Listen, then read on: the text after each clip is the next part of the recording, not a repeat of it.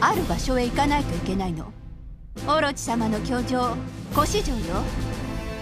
というわけで芝生さんたちはしっかり私を守ってね。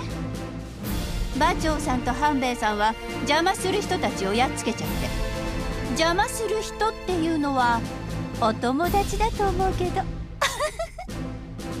それじゃあ頑張ってね。